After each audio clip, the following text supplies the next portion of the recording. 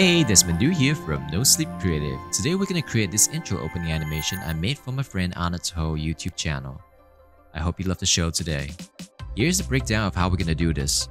First, we animate a square and two lines appearing in the scene. Then we have four circles animating off-screen, overlapping on-screen, and off-screen again. Next, we create two circles as alpha matte using blending modes. We'll duplicate the previous setup, change the colors to create 3 more variants, and use radial wipe to create the quadrants.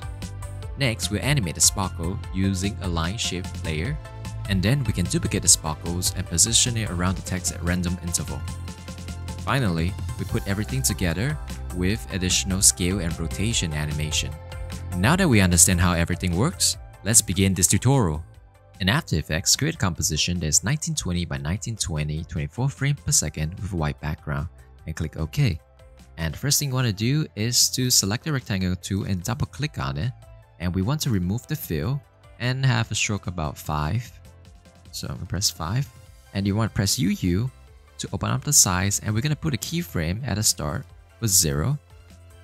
And then let's go down about 21 frames over here to this marker to about 1350. Okay, and then next thing we're gonna do, let's also rename this to square. And the next thing we're gonna do is to double click on the rectangle tool again. So we're gonna create the lines.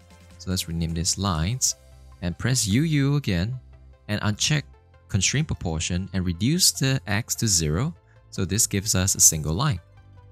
And then duplicate the rectangle shape layer and open the properties, open the transform, and go into rotation and set it to 90 degrees. And now select the shape layer, press R for the rotation and set it to 45 degrees. So we have an X. And we are going to use a trim path to animate the review. So go open up the shape layer, add trim path, and we're gonna set a keyframe for the end. So somewhere around around here, around one second, it will complete and we start off with zero. And there we go, the first step is complete. And let's just call this blue. And the next thing we want to do is to create a circle. So let's select our ellipse tool. We're going to create that radial arrangement of circle. And let's call this uh, C underscore fill. And we're just going to give it a color. Uh, so I have my colors over here. So I'm going to use this red. And we can keep the stroke for now. I'm going to color it uh, yellow and I am going to go into my repeater tool, add a repeater, and then also let me reduce the size of the circle so you guys can see clearly what's going on. So I'm going to reduce the size about 10% and also turn off the, my other two layers. So I'm going to go open up the contents, go into repeater, set the copy down to 4, open up transform, reduce the position to 0 and increase the rotation by 90 degree. And now if I increase the y-axis for the anchor point, you can see it arranged itself in this uh, radial arrangement. And so that's cool. But one thing to note is that it if I were to turn on the anchor points, right, you can notice it's it's still using the first circle as anchor point. So we gotta center it accordingly uh, based on this four circle. So let's press A to open our anchor point. We're gonna write a simple expression using the source rect function.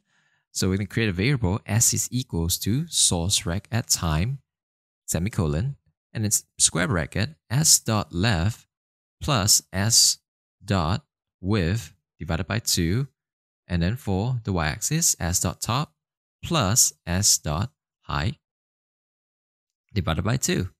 And this will lock the anchor point to the center. Right, there you go. And then let's also uh, let's press UU to get our properties again. And we're going to set a keyframe for the anchor point for the transform uh, under the repeater. And also we want to reduce the, increase the scale back to 100 again. And let's set a keyframe. Let's press U to get our anchor point. So you want to set it about like 1920. So it will be like right outside the composition and then I actually have some animation marker prepare here so I can see uh, what to animate. So somewhere around here, right, is where I am going to put, uh, where it's going to, where it's going to come into frame. So it's going to come into frame at about, wait, let's see. It's going to go from 1920 oops, sorry. Let's go from 1920 from at zero, and it's gonna come in to about 1,000, I think 1,350, where it's like touching. So maybe that's a little bit too much. So let's reduce it. Going, actually, we, we increased it. So somewhere where it's just touching, all the circles are touching. Very nice. And it's just going to hold its value for about, you know, a few frames.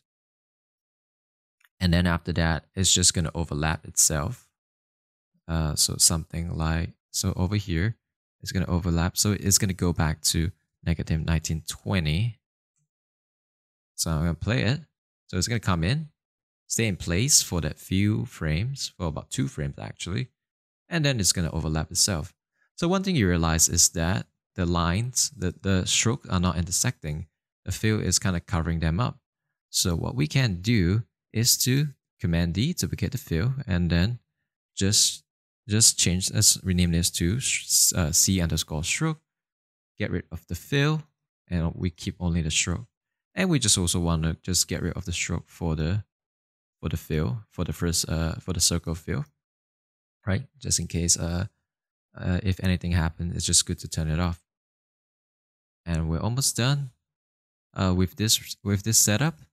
And the next thing we want to do is to just uh create a circle, the black circle in the center. So I'm going to go to my ellipse tool, double click on it. Let's name this. So uh, we just need to, for this one, let's give it a black fill, right? And turn on preserve print underlying transparency, which is next to blending mode. And I'm going to put it, uh, yes, it needs to be on top of the stroke and fill layer that we have. And we can put the line and square on, on at the top for now. Uh, and if you notice that if I were to turn on and off the underlying transparency, you can see it's actually borrowing the alpha of what the layers beneath. So I'm going to name this C underscore center and then just label it red. So it, we just need to animate it, the scale, right? Press S, animate it from, let's see, let's put it about, let's start, obviously we start from zero and then we're gonna go to 50 and then it's going to hold for a few frames and then it's just going to go to zero. So let me set it to zero like that. So somewhere around here. Yes.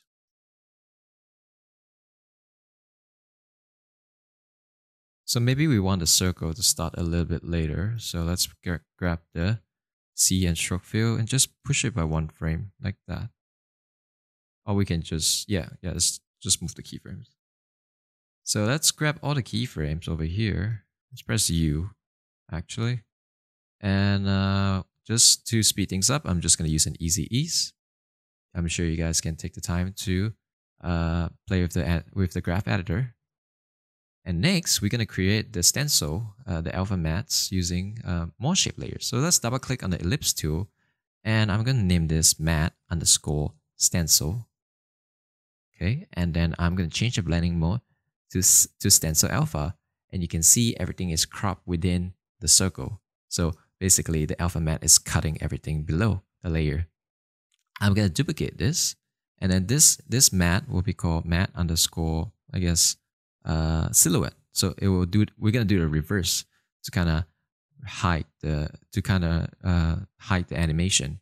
So we're going to change the silhouette silhouette alpha for the blending mode. And we're going to animate the scale. So the thing about Silhouette Alpha is that let me just, if I play around the scale, you can see I'm basically we're going to create uh, the circle going from smaller to bigger to hide the animation. So I want it to be around here. So where it's, so it starts at zero. And then somewhere around here, it's where it becomes 100. Oh, I forgot to set a keyframe. So let's do it again. And so it's gonna animate in, right? And then it's gonna animate out using the silhouette alpha, uh, silhouette alpha blending mode, like that. So we might might want to be faster. So let's open up a graph editor and maybe just like make the slope the slope steeper in the middle like that. So kind of like an exponential uh, animation curve. All right, and we're done with the setup. And now we're going to create variants, uh, three more variants of this setup. And you can easily go into the project panel and duplicate it, but then, and then change the color by opening it up. But that's, but there's a better way to do it. And we're going to make use of this thing called master properties. Master properties allow us to specify what properties are editable from one source composition and create var multiple variants. So to demonstrate, first we need to go to Window, Essential Graphic, and then you're going to select the composition that you want to build the master composition on, the master properties on. So we gonna, I'm just going to select uh, my current composition, base 01, and I can go into my fill. I'm going to pause the animation here. I can go into my fill layer, right, my circle fill, and go to fill, and I can just click and drag the color over here. So right now I have an expression, so I'm going to just unlink it over here. Uh, so what? so I'm going to do it again. I'm going to grab the fill color and just drop drop it in, and I'm going to do it for the center circle as well. I'm going to go to content, ellipse, ellipse path, and then I'm going to go into not ellipse path, but the the fill, and grab the color. And I can actually rename this property. So the first one will be primary, and the second one will be secondary. So now I can just collapse everything and I can just change the color from here if I want to. So this is very good when you're just building two kits and you just want, so these are the, basically the settings you want your user to change. Uh, so they don't need to open up the composition and uh, open up layers and find the keyframes or find which one are editables. Now, uh, but that's not what we're looking for. What we want to do now is that in a new composition, which I have over here, so make a new composition that is full HD, right? 1920 by 1080, 8 seconds long. And I'm just going to close this Essential Graphics panel and drop our base composition over here. Okay, the beauty of Essential Graphic is that we can create variants just from one source composition. So if I press UU now, you can see we have a new property group over here called Master Properties. You can also access it just by collapsing the layer, just by, you know, through the drop, drop down and then you can change the color to something else like green and then you can change it to maybe something yellow or orange and if you so the animation you know still still is, is still working right and if you go into the base uh, into our base composition the colors are still the same so i can just even duplicate more of these, right and just change the color and nothing my previous uh, i can still preserve my original setup. As you can see over here. Right, so I'm going to just scale this down to 45. And then the, you can also push the colors that the, the changes that you you have to the composition. So if you're going to push it, push the colors back to the base composition, you can see now it has, you know, copied the properties from our, our main comp over here. And I'm going to undo that. You can also do the reverse. You put, you want to reset it back to normal. You can just click the button on the left hand side. And I'm going to name the first one master for now. And then we're going to duplicate three more variants. Uh, so let's duplicate this. And so we're going to have one at the bottom. I'm also actually going to delete all these markers because it's very distracting. And then, so I have one at the bottom. We're going to create a quadrant design. So one will be left, one will be right, and then one at the bottom. So I'm going to turn off the master for now. And then what I want to do next is to go to my effects and preset panel, shortcut command 5, and I'm going to type in radial wipe, which I already typed it in here, double click on it, and set the transition completion to 75%. And you can see that, uh, let's see, first of all, they're all the same color. I need to change the color their color for, uh, to something else. I'm going to press UU to open up my color properties. And I'm just going to assign all my colors. So I got to change it to this dark red. And then after that, I'm to change it to this brown and this green, pink. And then we're to do pink again. And then we're to end off with this dull red again. Uh, very cool. And now we can collapse everything. And then you can see we have one quadrant over here with the radial wipe. And I'm to copy this effect, radial wipe, and put paste it on my R layer. And I'm just to shift it, shift the start angle to 180 degree. And we can see we have developed this quadrant over here. And uh, let's see. So the next thing we wanted, so if we play it now, you can see because everything is based on the same layer, the aligns, everything aligns properly. All right.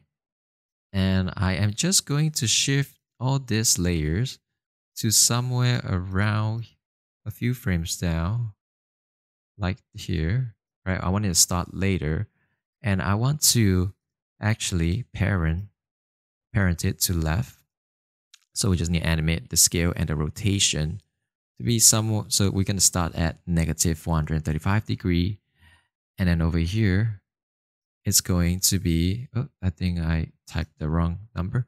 So it's going to go from, set a keyframe, it's going to go from negative 135 degree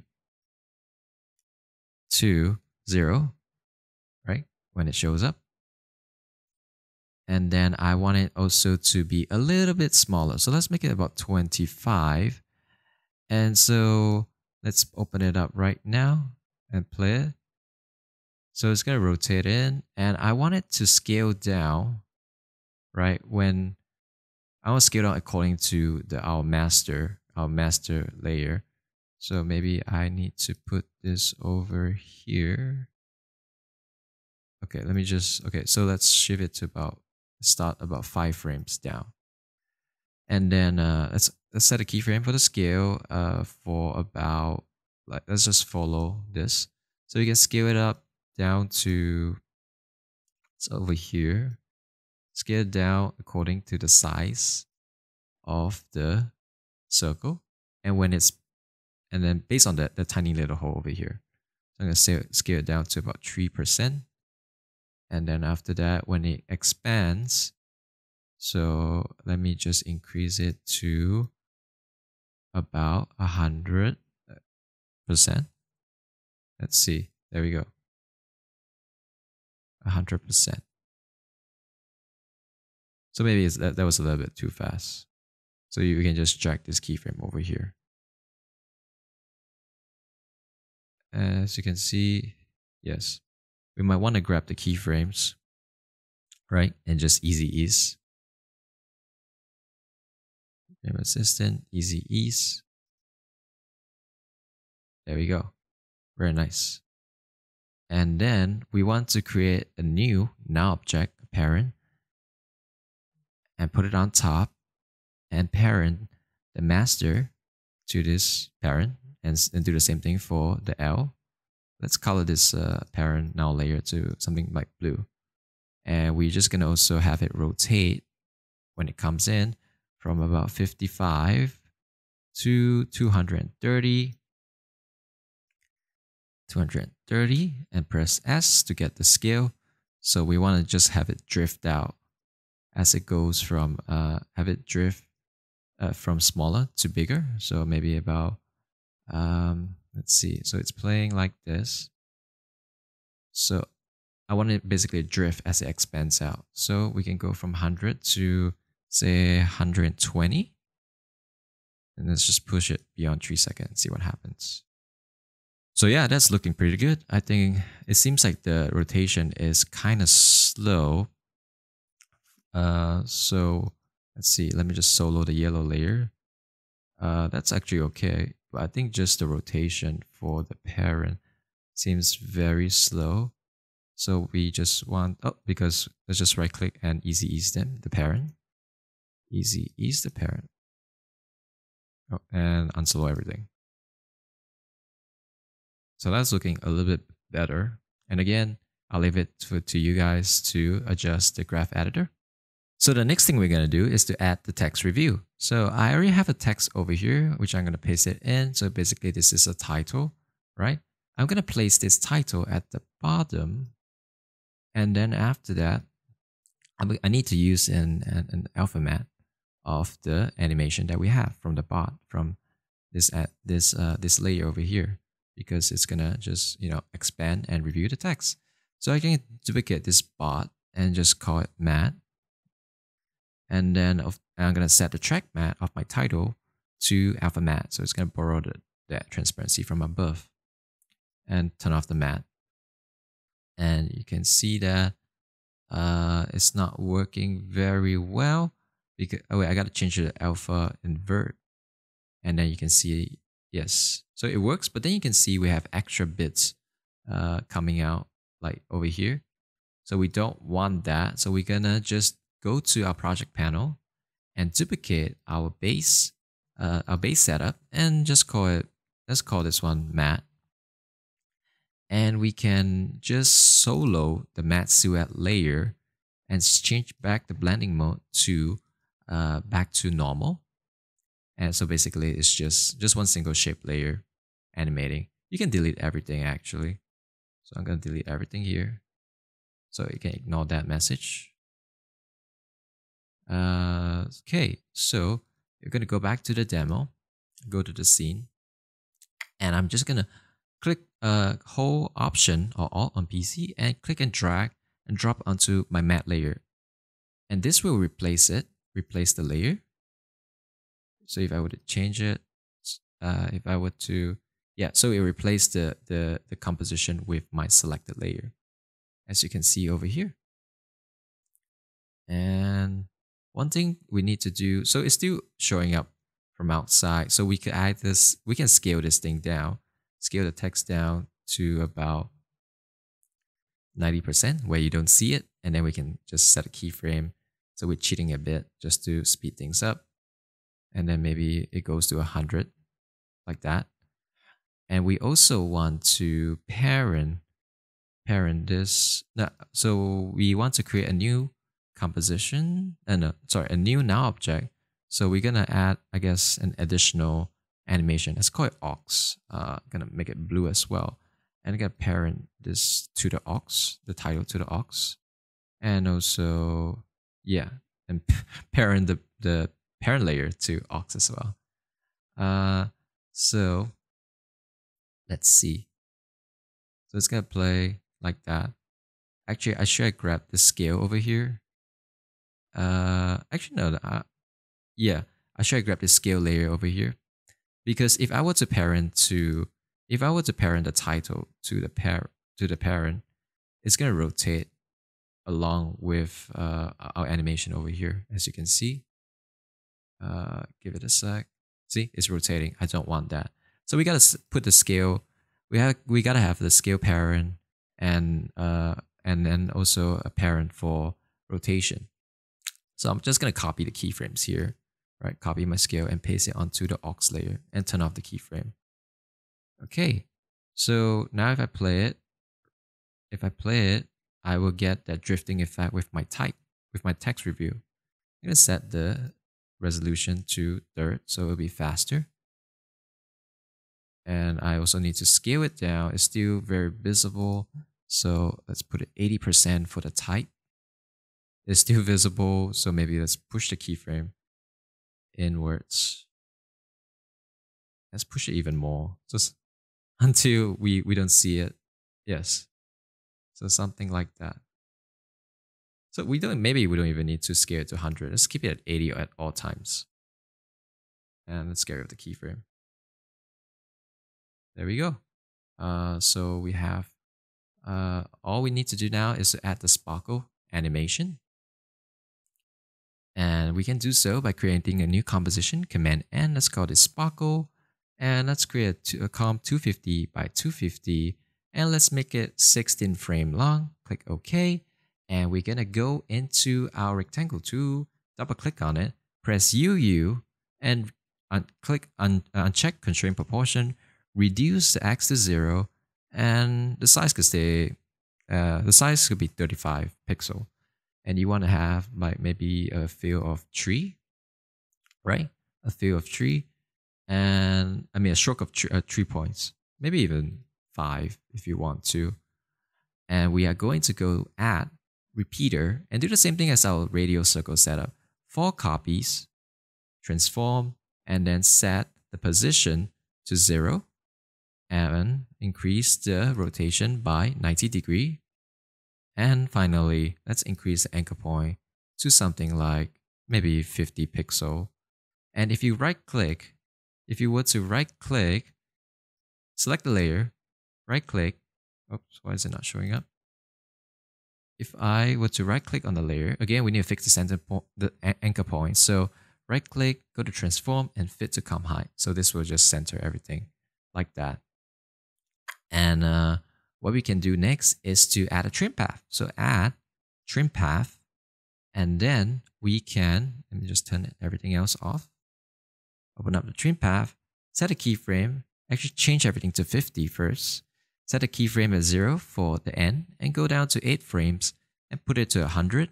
Set a keyframe for the start and then go down to the end of the composition and set it to 100. Now if I play it, I get this animation. You might want to fine tune the repeater and maybe have it like come closer to something like that. Uh, okay, this seems good. And I'm just going to transform fit to comp height. So be in the center.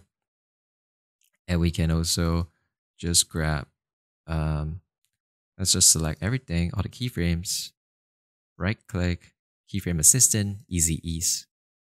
Very nice. And then what we can do is to reduce the stroke because it seems really thick.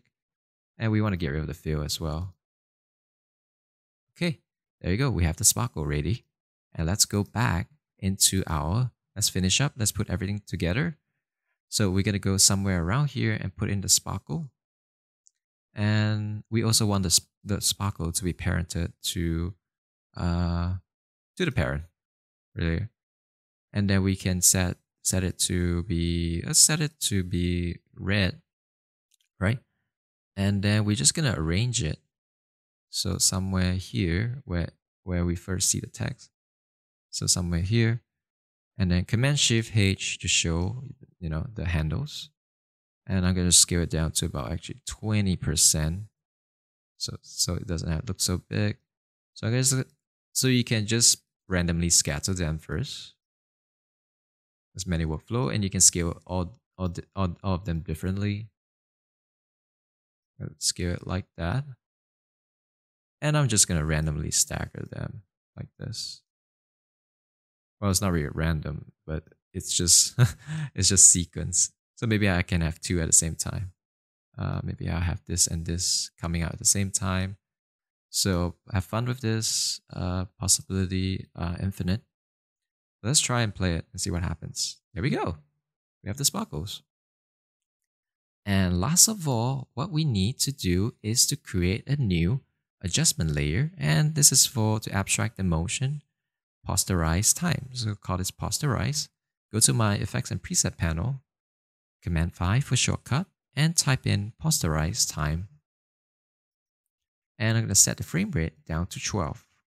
So it gives you that uh, uh, that what do you call that? Um the cel animation look as if it was like uh it's basically stylized the motion. And um maybe just to tidy things up let's go to the parent where this let's go to the aux parent and just push this keyframe all the way to 8 second so you're just gonna keep drifting and we're done. Thank you for watching this tutorial. Please like, share, subscribe so this tutorial can get to more people. You can download the project file in the link in the description below. And if you made something with this tutorial, please tag me on Instagram at DesmondDu because I love to see what you came up with on your own. Alright, that's all I have for you guys. I'll see you next time.